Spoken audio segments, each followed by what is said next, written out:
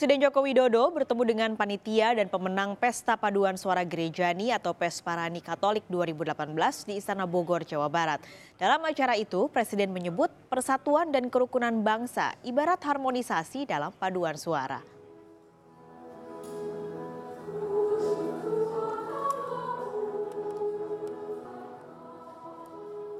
Kelompok paduan suara pemenang Pesparani 2018 asal Provinsi Kalimantan Timur menyanyikan lagu tentang persatuan di hadapan Presiden Joko Widodo di Istana Kepresidenan Bogor, Jawa Barat.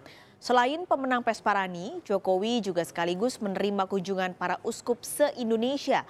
Kunjungan tersebut dilakukan di sela-sela sidang Sinodal KWI 2018 yang berlangsung di Bandung, Jawa Barat. Dalam kesempatan itu, Presiden Jokowi mengapresiasi suksesnya penyelenggaraan Pesparani 2018 di kota Ambon, Maluku pada 27 Oktober hingga 2 November lalu. Menurut Presiden, Pesparani tidak hanya sebagai kompetisi vokal, tapi perayaan persatuan bangsa yang harus dibangun dengan sikap toleransi dan tenggang rasa.